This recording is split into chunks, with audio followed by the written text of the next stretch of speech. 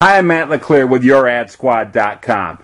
In this short video, I'm going to show you how to uh, add three different views to your Google Analytics account.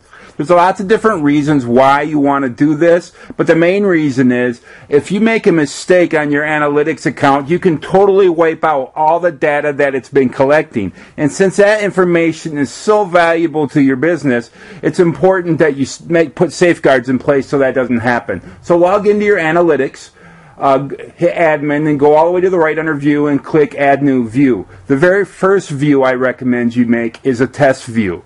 And this is a view that you'll use whenever you want to make any changes to your analytics and add filters or whatever. You first do it on the test view in case you make a mistake and uh, wipe out data it's better to do it on the test view than on your master view. So go ahead and make the test view first. Click website there, put in test view, put in your time zone, and then uh, click the blue create view button right here.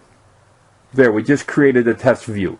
Now, to make the other two views, we're going to do it the same way. Look, hit create new view. Now this view we're going to call the unfiltered master list. And this is going to be like a backup tape. This is going to be where all the information's saved in case you mess up any of the other views.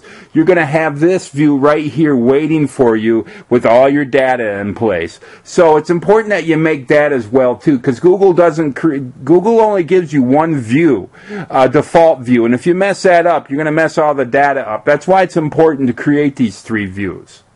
So create the test view like you did. Now create the unfiltered master view the very same way. Put it, make sure your right time zone is correct. Now what you want to do is create one more. And this is going to be the main view that you use anytime you log in to check your stats and to see how much traffic you're getting. Call this one the filtered master. Because once you test a filter on the test and you see that it doesn't it doesn't affect any of the data in a, in a negative way then you can move that filter over to this filtered master. And uh, put a little note for yourself like use this view. That way you know whenever you go in and you're checking your stats and you're doing whatever you're checking it with this view.